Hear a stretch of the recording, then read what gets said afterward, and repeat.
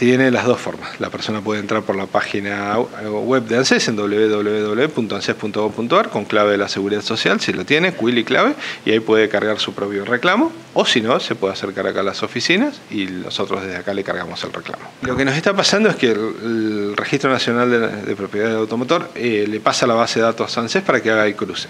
O sea que nosotros tenemos la información que nos da el ente que tiene a su cargo esa base de datos. Por lo tanto, eh, para nosotros es válida porque lo está eh, firmando una persona responsable de esa, de, esa base de datos. Por lo cual, si la persona desconoce esta situación, bueno, le pedimos si, si tiene una constancia de que no es así, sí que la acerque, pero bueno, si no, muchas personas han dicho, nosotros hemos hecho ya la denuncia de venta. Sí, la denuncia de venta no es la venta en sí, sino que la transferencia sería lo que le va a quitar la propiedad de ese, de ese, de ese vehículo. Entonces, si tienen denuncias de venta de dos o tres, nos ha pasado, el sábado nos pasó y ayer nos pasó que venimos con tres denuncias de venta pero sin transferencia. Entonces, eso nosotros no podemos porque la propiedad del automotor sigue siendo de la persona. No, no, por más que uno denuncie que lo vendió, sigue siendo suyo. O sea, está registrado ante el registro como propietario aún. Así que bueno, esos casos, si es algún caso muy en particular, lo estamos viendo y si no, el resto tendría que acercarse a la persona y ver su situación ante el registro.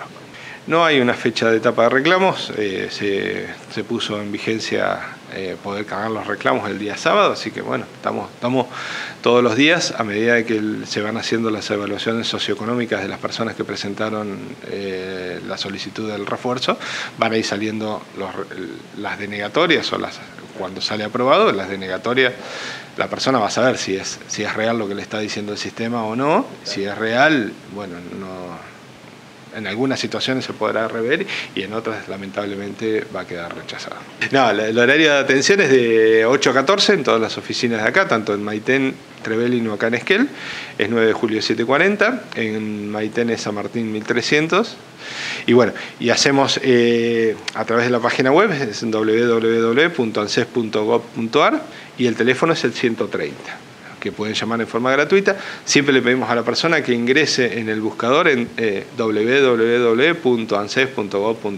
Nos pasó de recibir una denuncia estos días y ya van un par, que la persona pone turnos ANSES, ANSES eh, inicio y el buscador lo que hace es llevarle unas páginas promocionadas o anuncios. Entonces entran a estudios y personas que se dedican a hacer trámites y en algunos casos le cobran o le pueden robar algún dato. Así que le pedimos por favor que lo busque directamente con www.anses.com.ar y lo va a llevar directamente a la página oficial de ANSES.